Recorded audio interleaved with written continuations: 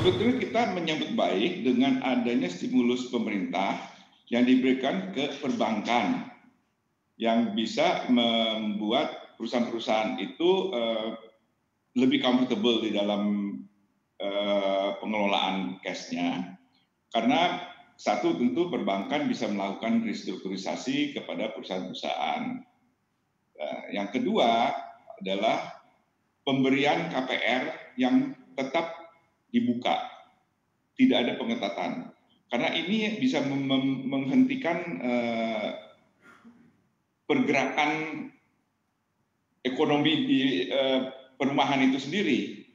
Karena kalau pasar eh, pemberdayaan pasar ini tidak dipertahankan, itu akan sangat mengganggu.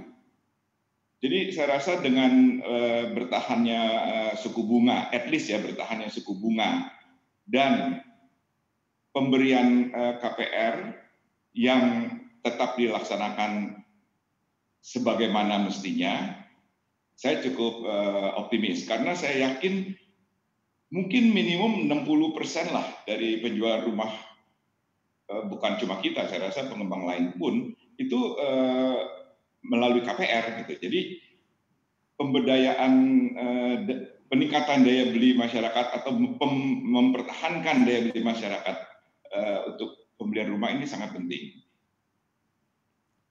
Sangat signifikan juga pengaruhnya eh, KPR ini untuk penjualan ya Pak bagi sektor properti. Selanjutnya Bapak mengharapkan ada relaksasi apa lagi untuk membangkitkan sektor properti ini pada saat kita masih di era new normal ini masih melalui masa-masa yang sulit ini? Kalau yang langsung sih mungkin yang tadi itu ya, tapi barangkali ada yang tidak langsung, misalnya yang seperti kita semua juga sudah baca-baca di berita bahwa jika sekedar eh, eh, misalnya pemerintah membuka kesempatan orang asing untuk lebih mudah membeli properti di Indonesia, nah itu tentu akan meningkatkan pasar juga di samping meningkatkan pasar itu sendiri juga sebetulnya bisa memberikan uh, confident peningkatan confident level dari uh, investor secara umum. Jadi bukan cuma di properti tapi untuk di industri pun uh, akan ada dampak yang positif gitu. Jadi kalau uh, itu adalah tambahan ya di samping yang tadi yang kita sudah uh, bicarakan. Atau misalnya sekarang ada insentif Uh, saya juga baca beberapa waktu yang lalu ada masukan bagaimana kalau orang beli properti itu uh, ditreat seperti deposito gitu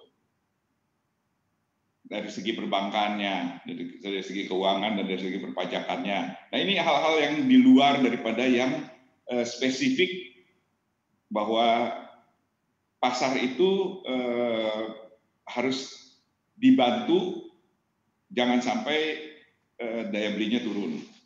Nah itu, itu mungkin yang yang secara umum uh, bisa diterapkan eh, dan bisa menambah positifnya uh, pasar properti.